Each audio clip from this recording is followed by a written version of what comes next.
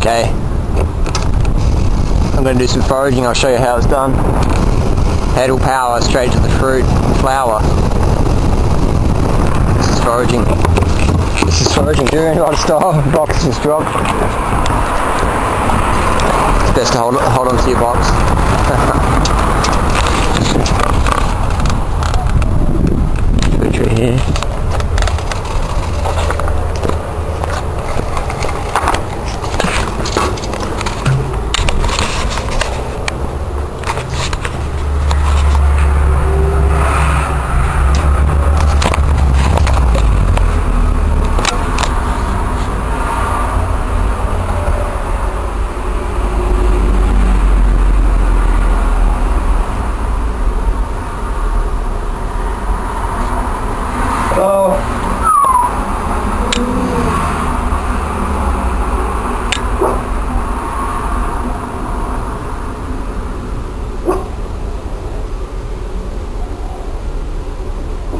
Hey.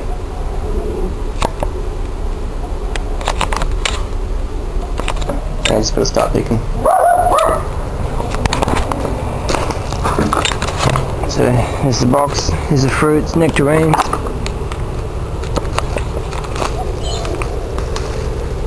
Alright. Sweet and juicy, man. So I'll fill the whole box. Free off the tree. Yeah. Organic fruit costs too much. Don't tell anybody. That's what we're talking about, man. Free food. Hey? Oh, I was talking on the camera. Beautiful nectarines. Ten dollar, ten dollars a kilo at the organic market. The organic market. Yeah. Free off, free off the tree or ten dollars a kilo. Yeah. Wow. five fifty bucks worth here. Yeah. Healthy food. Free off the tree. See ya.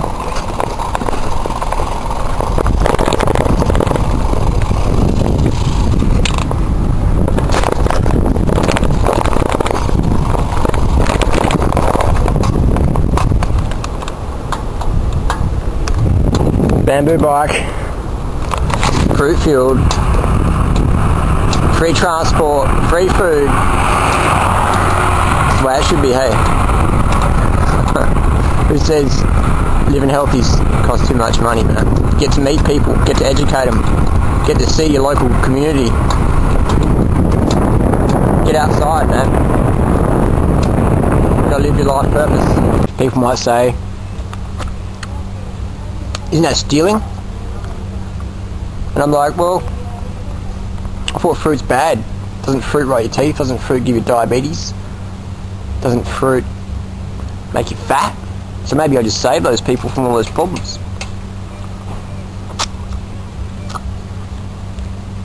Isn't it funny? You saw the evidence. The fruit's dropping on the ground, and people go, "Oh, you don't own that fruit. You don't own that tree." It's like, man, nobody owns the tree, man. God owns the tree. Mother Nature owns the tree. It's uh, it's food for everyone. Another person's trash is another person's treasure.